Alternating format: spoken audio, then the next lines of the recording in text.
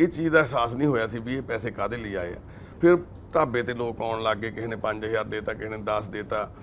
ਪਹਿਲਾਂ ਅਸੀਂ ਇਦਾਂ ਦੀਆਂ ਚੀਜ਼ਾਂ ਜੇ ਕਿਸੇ ਪਾਸੇ ਦੇਖਦੇ ਸੀ, ਐਂ ਲੱਗਦਾ ਸੀ ਵੀ ਇਹ ਲੋਕ ਪੈਸੇ ਇਕੱਠੇ ਕਰ ਰਹੇ ਆ। ਜਦੋਂ ਸਾਨੂੰ ਲੋਕ ਪੈਸੇ ਦੇਣ ਲੱਗ ਗਏ, ਤਾਂ ਮੇਰੇ ਵੀ ਆਪਦੇ ਮਨ ਚ ਆਉਣਾ ਵੀ ਸਾਡੇ ਬਾਰੇ ਵੀ ਲੋਕ ਸੋਚਦੇ ਹੋਣੇ ਆ। ਤਾਂ ਇਦਾਂ ਹੀ ਕਰਦੇ ਕਰਦੇ ਅਸੀਂ 2017 ਤੱਕ ਪਹੁੰਚ ਗਏ। 2017 ਤੱਕ ਸਾਡੇ ਕੋਲੇ ਇੰਨੇ ਕੁ ਲੋਕ ਆਉਣ ਲੱਗ ਗਏ ਪੈਸੇ ਪਹੁੰਚਾਉਣ। ਕੋਈ 10000 ਕੋਈ 20000 ਕੋਈ 50000 ਦਿਨ ਚ ਆ ਗਿਆ।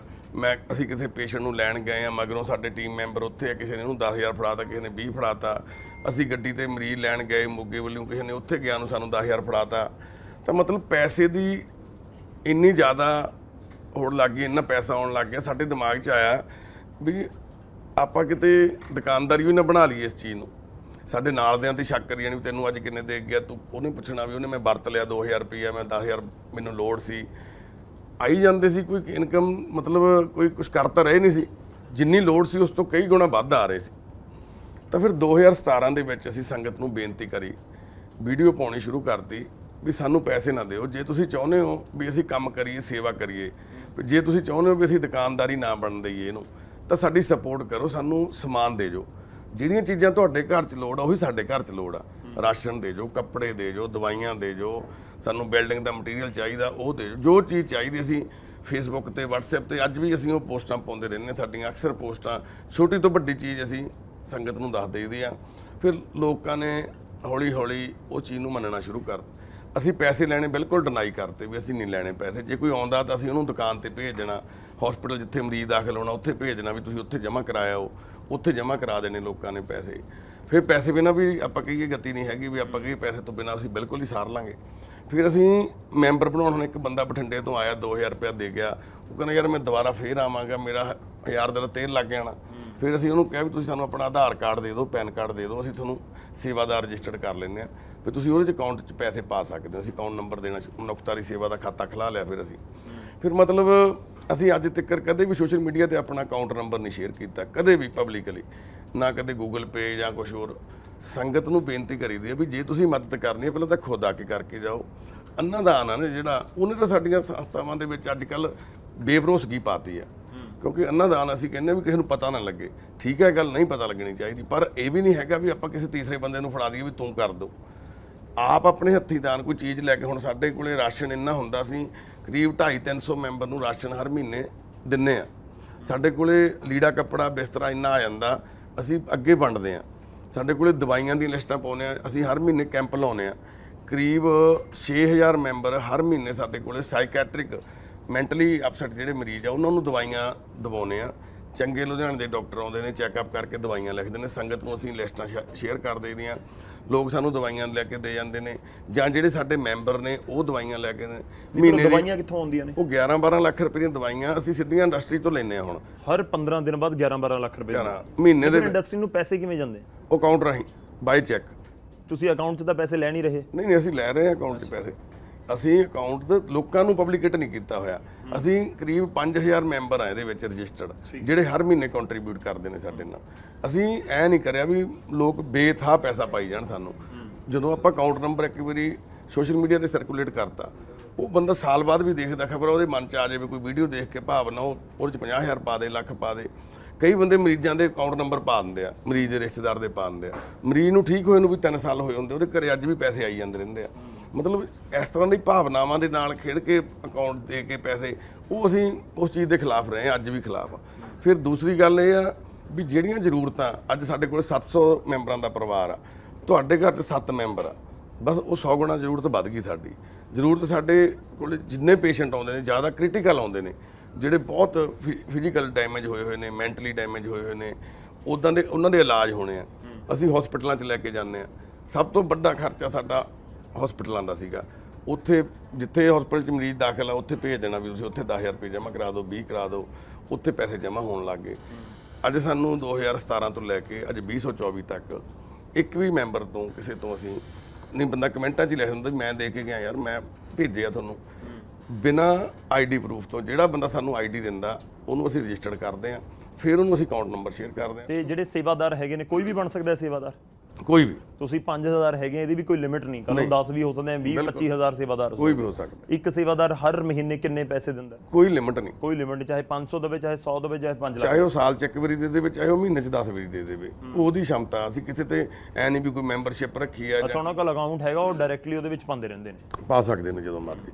ਉਹਦੇ ਨਾਲ ਸਾਡੇ ਹੁਣ ਖਰਚੇ ਚੱਲਦੇ ਆ ਜੀ ਹਸਪੀਟਲ 'ਚ। ਹੁਣ ਵਾਹਿਗੁਰੂ ਦੀ ਕਿਰਪਾ ਨਾਲ ਅਸੀਂ ਅੰਦਰ ਇੱਕ ਛੋਟਾ ਜਿਹਾ ਹਸਪੀਟਲ ਬਣਾ ਲਿਆ।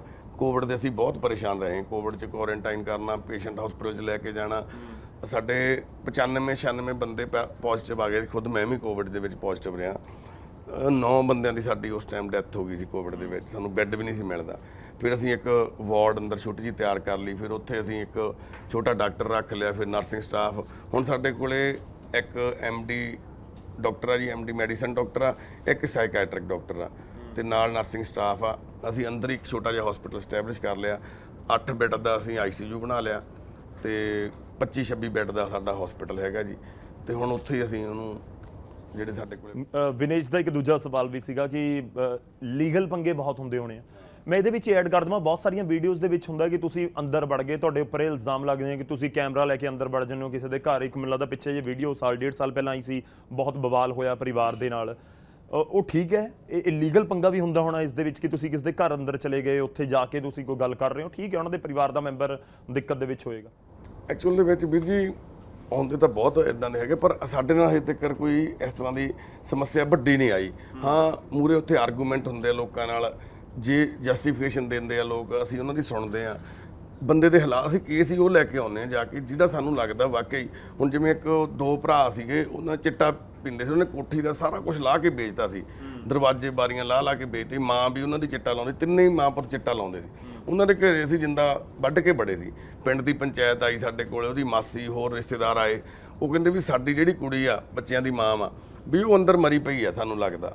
ਵੀ ਉਹਦੀ ਬੁਰੀ ਹਾਲਤ ਸੀ ਅਸੀਂ 10 ਦਿਨ ਪਹਿਲਾਂ ਦੇਖੀ ਸੀ ਵੀ ਉਹਨੂੰ ਫੜ ਕੇ ਲੈ ਕੇ ਗਏ ਬੈਂਕ 'ਚ ਉਹਦੇ ਸਾਈਨ ਕਰਾ ਕੇ ਪੈਸੇ ਕਢਾ ਕੇ ਲੈ ਗਏ ਮੁੰਡੇ। ਵੀ ਮੁੰਡੇ ਚਿੱਟਾ ਲਾਉਂਦੇ ਵੀ ਆ ਵੇਚਦੇ ਵੀ ਆ ਵੀ ਉਹਦੀ ਮਦਦ ਕਰੋ। ਅਸੀਂ ਗਏ ਪੰਚਾਇਤ ਨਾਲ ਲੈ ਕੇ ਗਏ ਉਹਨਾਂ ਦਾ ਦਰਵਾਜ਼ੇ ਦਾ ਜਿੰਦਾ ਖੋਲਿਆ ਤੋੜਿਆ ਅੰਦਰ ਚਲੇ ਗਏ। ਅੰਦਰ ਗਏ ਅਲਮਾਰੀ ਦੇ ਉੱਲੇ ਉਹ ਲੁਕੀ ਬੈਠੀ ਸੀ ਭੈਣ। ਠੀਕ ਸੀ ਉਹ ਉਹਨੂੰ ਕੋਈ ਹੋਇਆ ਨਹੀਂ ਸੀ ਕੋਈ ਫਿਰ ਉਹਦੇ ਮੁੰਡੇ ਆਏ ਉਹ ਸਾਨੂੰ ਗਾਲਾਂ ਕੱਢਣ ਡੰਡਾ ਚੱਕ ਕੇ ਮਾਰਨ ਪੈਣ ਹੌਲੀ ਹੌਲੀ ਉਹਨਾਂ ਨੂੰ ਸ਼ਾਂਤ ਕੀਤਾ ਲੈ ਕੇ ਆਏ। ਉੱਥੇ ਸੰਸਥਾ ਤੇ ਲੈ ਗਏ। ਉਹਨਾਂ ਨੂੰ ਉੱਥੇ ਰੀਹੈਬ ਦੇ ਵਿੱਚ ਭੇਜਿਆ। ਅੱਜ ਉਹ ਵੱਡਾ ਮੁੰਡਾ ਉਹਨਾਂ ਦਾ ਜਿਹੜਾ ਵੱਡਾ ਬੇਟਾ ਭੈਣ ਦਾ ਉਹ ਯੂ ਐਸ ਏ ਚਲਾ ਗਿਆ ਉਹਦੇ ਤਾਇਆ ਜੀ ਨੇ ਸੱਦ ਲਿਆ। ਛੋਟਾ ਬੇਟਾ ਤੇ ਉਹ ਮਾਤਾ ਦੋਨੋਂ ਨਸ਼ਾ ਛੱਡ ਕੇ ਮੁਕਤ ਹੋ ਕੇ ਉਸੇ ਘਰ 'ਚ ਰਹਿ ਰਹੇ ਨੇ। ਮਤਲਬ ਲੀਗਲ ਵੱਲ ਨੂੰ ਕਦੇ ਗਿਆ ਨਹੀਂ ਹਾਂ ਮੌਕੇ ਤੇ ਜ਼ਰੂਰ ਕਈ ਵਾਰੀ ਇਦਾਂ ਦਾ ਹੋ ਜਾਂਦਾ। ਲੱਗਦਾ ਤੁਸੀਂ ਵੀਡੀਓ ਵੀ ਤਾਂ ਜ਼ਿਆਦਾ ਬਣਾ ਲੈਂਦੇ ਹੋ ਕਿ ਜੇ ਕੱਲ ਨੂੰ ਕੋਈ ਦਿੱਕਤ ਹੋਵੇ ਬਿਲਕੁਲ ਤਾਂ ਤੁਹਾਡੇ ਕੋਲ ਪ੍ਰੂਫ ਹੋਵੇ। ਪ੍ਰੂਫ ਹੋਵੇ ਹਾਂਜੀ। ਚਲੋ ਮੈਂ ਹੋਰ ਸਵਾਲ ਲਵਾਂਗਾ। ਮੇਰਾ ਇੱਕ ਹੋਰ ਛੋਟਾ ਜਿਹਾ ਸਵਾਲ ਹੈ। ਤੁਸੀਂ 700 ਲੋਕਾਂ ਦਾ ਜ਼ਿਕਰ ਕੀਤਾ। ਗੁਰਪ੍ਰੀਤ ਜੀ ਇਹ ਚੀਜ਼ ਦਕ- ਦੱਸੋ ਕਿ ਇਹਨਾਂ 700 ਲੋਕਾਂ ਦੇ ਵਿੱਚ ਬਹੁਤੇ ਗਰੀਬ ਪਰਿਵਾਰਾਂ ਤੋਂ ਨੇ ਜਾਂ ਬਹੁਤੇ ਰੱਜੇ ਪੁੱਜੇ ਪਰਿਵਾਰਾਂ ਤੋਂ ਨੇ? ਮਤਲਬ ਆਮ ਤੌਰ ਤੇ ਇੱਕ ਸਿਗਨਲ ਦੇ ਉੱਤੇ ਖੜੇ ਕਿਸੇ ਆਪਾਂ ਕਹਿ ਦਿੰਦੇ ਆ ਕਿ ਕੋਈ ਮਾਨਸਿਕ ਤੌਰ ਤੇ ਬਿਮਾਰ ਖੜਾ ਤਾਂ ਇਹ ਲੱਗਦਾ ਕਿ ਇਹਨਾਂ ਦੇ ਟੱਬਰ ਦੇ ਵਿੱਚ ਕੋਈ ਨਹੀਂ ਸੀਗਾ ਜਾਂ ਪਰਿਵਾਰ ਕੋਈ ਗਰੀਬੀ ਦੇਖ ਰਿਹਾ ਹੋਵੇਗਾ ਇਸ ਕਰਕੇ ਫੁੱਟਪਾਥ ਦੇ ਉੱਤੇ ਪਹੁੰਚ ਗਿਆ। ਇਹਨਾਂ 700 ਲੋਕਾਂ ਦੇ ਵਿੱਚ ਮੈਜੋਰਟੀ ਕਿਹਨਾਂ ਦੀ ਹੈ? ਰੱਜੇ ਪੁੱਜਿਆਂ ਦੀ ਹੈ ਜਾਂ ਫਿਰ ਤੁਹਾਨੂੰ ਲੱਗਦਾ ਕਿ ਬਹੁਤੇ ਅਜਿਹੇ ਗਰੀਬੜੇ ਆ ਜਿਹੜੇ ਨਹੀਂ ਕੁਝ ਕਰ ਸਕਦੇ? ਦੇਖੋ ਜੀ ਮੈਂ ਤੁਹਾਨੂੰ ਦੱਸਾਂ ਜੀ ਇੱਕ ਗੱਲ, ਜਿਹੜੇ ਗਰੀਬ ਆ ਨਾ, ਉਹ ਬੰਦਾ ਫਿਰ ਵੀ ਉਹਨਾਂ 'ਚ ਦਇਆ ਹੈਗੀ ਹੈ ਹਜੇ ਇੱਕ ਦੂਜੇ ਦੀ ਬਾਹ ਫੜਦਾ ਉਹ। ਜਿਹੜੇ ਅਮੀਰ ਘਰਾਂ ਦੇ ਵਿੱਚ ਚੰਗੀਆਂ ਜ਼ਮੀਨਾਂ ਵਾਲੇ, ਚੰਗੀਆਂ ਨੌਕਰੀਆਂ ਵਾਲੇ, ਚੰਗੇ ਚੰਗੀਆਂ ਪੋਸਟਾਂ ਵਾਲੇ, ਜਿਨ੍ਹਾਂ ਦੀ 70 70000 ਪੈਨਸ਼ਨਾਂ, ਵੱਡੀਆਂ ਫਲੈਟਾਂ 'ਚ ਰਹਿੰਦੇ ਨੇ, ਕੋਠੀਆਂ 'ਚ ਰਹਿੰਦੇ ਨੇ, ਉਹਨਾਂ ਦੇ ਸਮਾਜ ਨਾਲੋਂ ਜਮੇ ਜੜਾਂ ਟੁੱਟ ਗਈਆਂ ਬਾਈ। ਹੁਣ ਇੱਕ ਬੰਦਾ ਜੌਬ ਕਰਦਾ, ਉਹਦੀ ਆਪਦੇ ਭੈਣਾਂ ਭਰਾਵਾਂ ਨਾਲ ਲਿੰਕ ਹੀ ਹੈ ਨਹੀਂ। ਉਹਨੇ ਆਪਣੇ ਬੱਚੇ ਪਾਲੇ, ਪੜ੍ਹਾ ਕੇ ਬਾਹਰ ਭੇਜਤੇ ਉਹ ਇਕੱਲਾ ਰਹਿ ਗਿਆ, ਉਹਦੇ ਮਗਰ ਹੀ ਨਹੀਂ ਕੋਈ ਆ ਰਿਹਾ। ਜਿਹੜਾ ਗਰੀਬ ਆ ਨਾ ਬੰਦਾ, ਉਹ ਖੀਰ ਤੱਕ ਇੱਕ ਦੂਜੇ ਦੀ ਬਾਹ ਫੜਦਾ ਹਜੇ ਵੀ, ਕਿਉਂਕਿ ਉਹਨੂੰ ਲੋੜ ਪੈਂਦੀ ਹੈ ਦੂਜੇ ਤੋਂ ਦੂਜੇ ਦੀ। ਜਿਹਨੂੰ ਲੋੜ ਮਹਿਸੂਸ ਹੋਣੋਂ ਹਟ ਜਾਂਦੀ ਹੈ ਮਸਲਾ ਤਾਂ ਉਹਦਾ। ਉਹ ਲੱਖਾਂ 'ਚ ਵੀ ਇਕੱਲਾ ਰਹਿ ਜਾਂਦਾ। ਸਾਡੇ ਕੋਲੇ ਬਹੁਤ ਸਾਰੇ ਇਦਾਂ ਦੇ ਮੈਂਬਰ ਨੇ, ਜਿਹੜੇ ਚੰਗੇ ਚੰਗੇ ਘਰਾਂ ਤੋਂ ਸੀਗੇ, ਪਰ ਉਹ ਐਸੇ ਹਾਲਾਤਾਂ 'ਚ ਸੀਗੇ, ਨਰਕ ਤੋਂ ਵੀ ਬਦਤਰ, ਸੜਕਾਂ ਤੇ ਪਏ ਸੀ।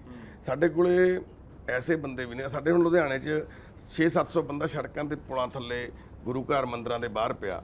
ਅਸੀਂ ਉਹਨਾਂ ਨੂੰ ਨਹੀਂ ਚੱਕਦੇ। ਸਾਨੂੰ ਬਹੁਤ ਸਾਰੀਆਂ ਵੀਡੀਓ ਰੋਜ਼ ਹਰ ਰੋਜ਼ ਕਰੀਬ 100 ਕੇਸ ਆਉਂਦਾ ਸਾਡੇ ਕੋਲੇ।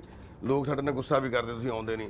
ਅਸੀਂ ਕ੍ਰਿਟੀਕਲ ਕੇਸ ਚੱਕਦੇ ਹਾਂ ਵੀ ਜਿਹੜਾ ਪਤਾ ਵੀ ਇਹਦਾ ਹੱਲ ਨਹੀਂ ਹੁਣ। ਮਤਲਬ ਜਿਹੜਾ ਕੋਈ ਬਿਮਾਰ ਹੋਵੇ ਕੋਈ ਮਾਨਸਿਕ ਤੌਰ। ਤੇ ਬਿਮਾਰ ਹੈ ਕੋਈ ਦਿੱਕਤ ਚ। ਹੈ। ਦੇਖ ਜਾਂ ਕੋਈ ਸੜਕ ਤੇ ਪਿਆ ਉਹਦੇ ਸੱਟ ਲੱਗ ਗਈ। ਹੁਣ ਦੇਖੋ ਇੱਕ ਬੰਦਾ ਮੰਨ ਲਓ ਯੂਪੀ ਤੋਂ ਅਸਾਮ ਤੋਂ ਜਾਂ ਕਿਤੋਂ ਪੰਜਾਬ ਦਾ ਹੀ ਆ ਪਟਿਆਲੇ ਦਾ ਬੰਦਾ ਅੰਮ੍ਰਿਤਸਰ ਸਾਹਿਬ ਜਾ ਕੇ ਬਹਿ ਗਿਆ।